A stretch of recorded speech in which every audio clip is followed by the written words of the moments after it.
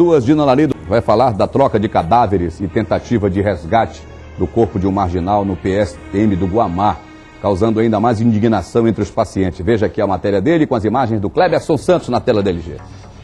Um grupo de pessoas tentou entrar no necrotério do pronto-socorro do Guamá. No local estava o corpo de Cleberson de Souza, conhecido como Jerico. Ele era suspeito de assassinar o tenente do Corpo de Bombeiros, Lúcio Heleno Guedes. Segundo a polícia, Jerico foi morto por justiceiros no bairro da Cremação. A gente não sabe o verdadeiro culpado do fato. A gente está averiguando para saber realmente os autores do delito. Policiais militares e guardas municipais reforçaram a segurança para evitar a invasão. Parentes do rapaz assassinado entraram em desespero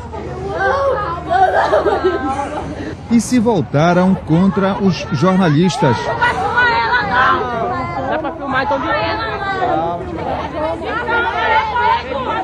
Durante a confusão no PSM do Guamá, os parentes de Doralice Ramos dos Anjos procuravam o cadáver dela que havia desaparecido do hospital. Quando eles jogaram o corpo lá do homem na pedra, tiraram da geladeira, colocaram na pedra e a gente foi abrir o saco.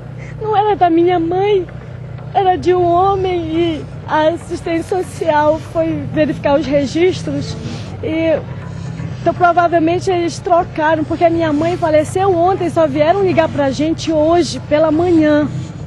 Então, a gente estava pre preparando a papelada, veio aqui. Agora à noite a gente descobriu que não era, ela não estava no pronto-socorro.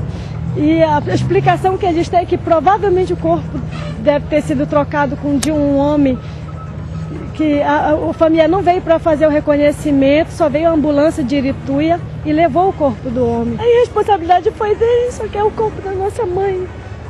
Para poder fazer o velório. Está tudo preparado. O que, que será que está acontecendo? Trocar o corpo de um homem por um corpo de uma mulher? O que será que está acontecendo, né? A Secretaria Municipal de Saúde, a SESMA, esclarece que está apurando a troca dos cadáveres ocorrida no dia 22, terça-feira, no Hospital Pronto Socorro Municipal Humberto Maradei, lá no Guamá. A SESM inicialmente vai entrar com um procedimento sumário, que é de levantamento da informação e dos fatos.